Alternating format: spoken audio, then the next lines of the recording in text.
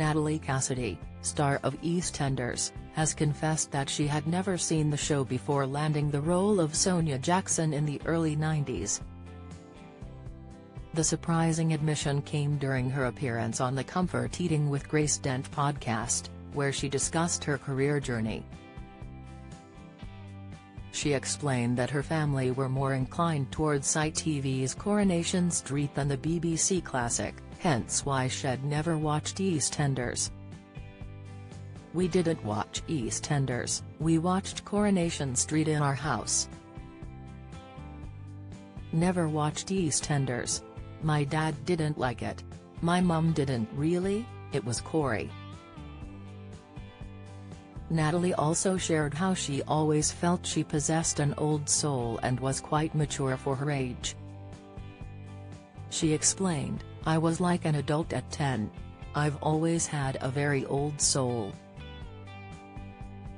I've always surrounded myself by older people, spoken to older people. I would go round a mate's house, they'd go to bed and I'd sit with the mum. It'd be mates with all the mums more than the kids. This isn't the first time Natalie has opened up about personal aspects of her life. Earlier this year, she made a candid admission about her personal hygiene on Loose Women. She confessed to being a fan of bidets, leaving the panel taken aback by her unexpected stance on the matter. Natalie revealed, I like a bidet, it reminds me of my family bathroom when I was a little. Mum and Dad's bathroom, there was always a little bidet in there. I haven't got a bidet now but I do sometimes, on a warm day when I haven't got time for a shower, fill up the sink and have a flannel wash. Natalie's confession about both the bidet and the flannel wash sparked some controversy on social media, with one user criticizing the star.